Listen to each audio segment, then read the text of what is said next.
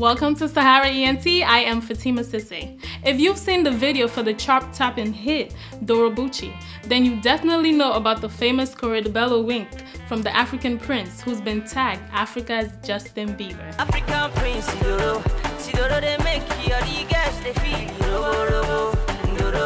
Growing up, the Lagos native showed a strong interest in dance and music, and as a result, started teaching himself to play many instruments.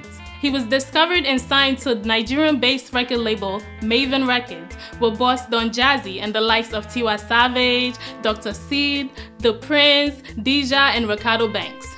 Fast forward to now, Bello is the ambassador for the Nigerian police. The Mavin Records artist debuted an advertisement on YouTube Monday to encourage Nigerians to utilize the service of the Nigerian people. All we need to do is trust the police and partner with the police. I don't get that lot, God do it. The ad has raised some eyebrows with some in support of Bello for taking a stand for a better Nigeria, while others oppose the young philanthropist who believes in standing for what is right in society and doing what he can to make the world a better place, is taking a hit on social media for associating with the campaign.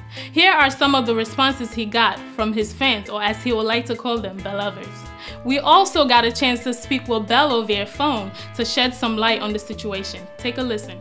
My job is literally to advocate for peace, how to report um, clandestine, you know, activities as well as you know let the people know as well that or let the police know um, the grievances of the people.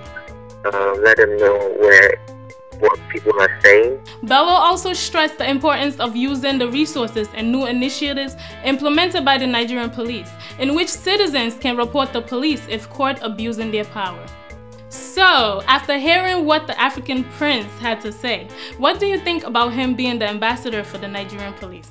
Do comment below. And don't forget to click the subscribe button at the end of this video. That's all the update for now. I am Fatima Sesay for Sahara ENT.